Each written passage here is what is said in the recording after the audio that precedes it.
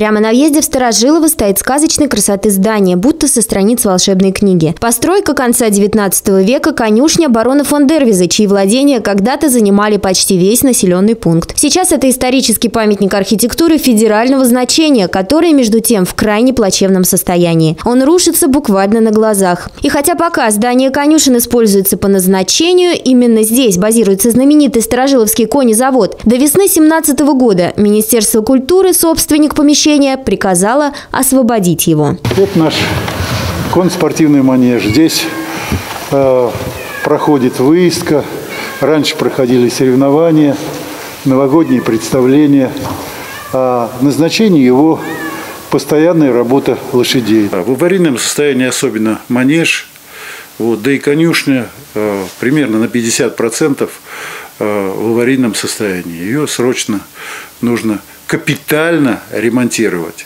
210 породистых лошадей. Обитатели этих стен сегодня находятся под угрозой. Среди них лучшие представители элитных пород, культивируемые уже не одно столетие. Кличка жеребца Атом. Вот он, он от Аргуана и Малеи.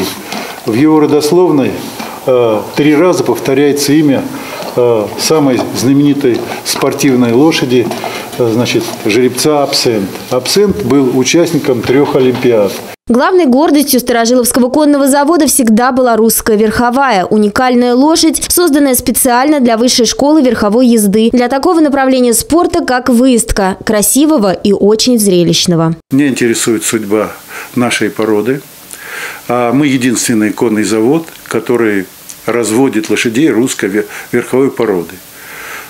Эта порода является гордостью являлась гордостью Российской империи и в настоящее время одна из лучших спортивных пород современной России. Это лошади этой породы э, у них э, как бы быстрее получается, они быстрее соображают других пород.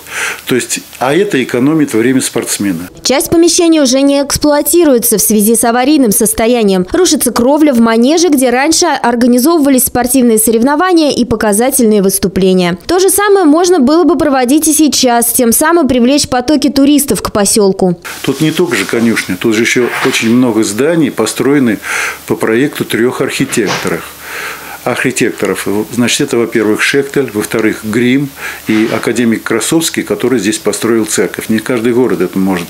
А вообще, оно сторожило само по себе, как село уникальное, оно могло бы быть объектом туризма. С этим местом связано начало карьеры легендарного полководца маршала Георгия Жукова. Он здесь был назначен старшиной второго эскадрона.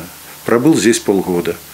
И, как и все, наши великие военачальники времен Великой Отечественной войны командовал сначала э, кавалерийским эскадроном, а затем кавалерийским полком.